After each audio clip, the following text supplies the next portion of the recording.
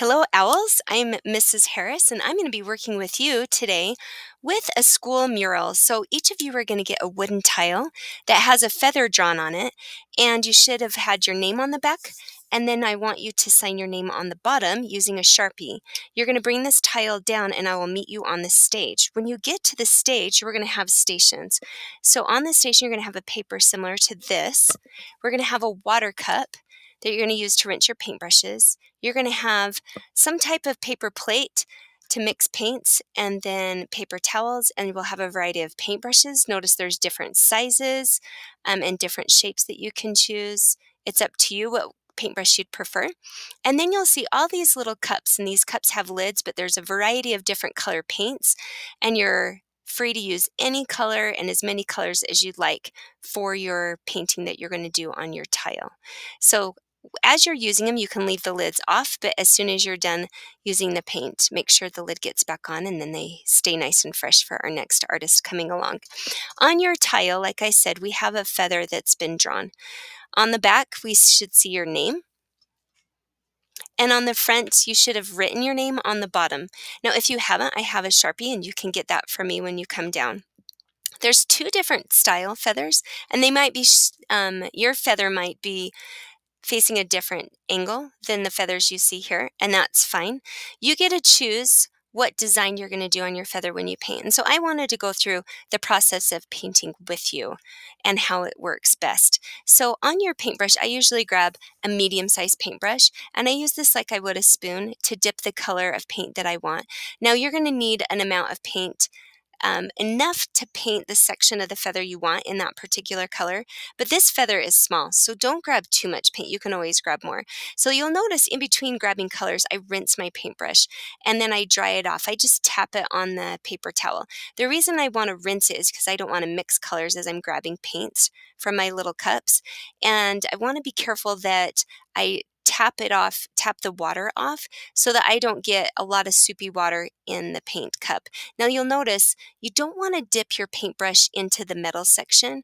Um, that gets the paintbrush really messy and it's hard to handle. So if that happens, rinse it off and then notice how I'm rolling the paintbrush in the paper towel and I'm not scrubbing.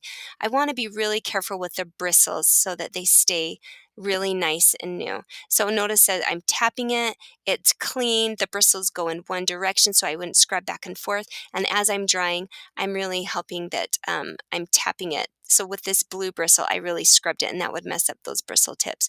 So if you rinse and you're still getting the color of paint on your paper towel, that means there's paint in the brush and that paint has plastic in it. And so if we don't fully rinse it, it could dry and ruin the paintbrush. Okay, so that's how we're going to clean up our brushes every time we use them.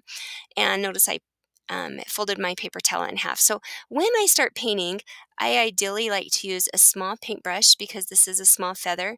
And the color that I'm going to use here is green. And the first thing I like to do is outline the edges. And this kind of helps me stay in line. It's like when I color in a coloring book, I tend to outline first and then I fill in in between. Some of the paint you might need to use two coats once you're done filling in um, the paint. So you don't have to paint really thick, but notice how I can see some of my brush strokes. I can let that dry and then come back and add a second coat if I'd like. Um, notice that you can mix colors. So I have this blue and I want to make it lighter. So as I'm mixing the blue and the white, because because this is my paint on my little paint tray, my mixing tray, I don't necessarily have to rinse my paintbrush. I can dab in other colors um, and that's fine. And then I'm going to add my second color. So I want to be careful not to make it so that my hand's touching the wet paint. I really want to be careful that the paint stays within the lines of the drawn feather. And so um, that's a, a big thing that we want to keep that gray background clean if we can.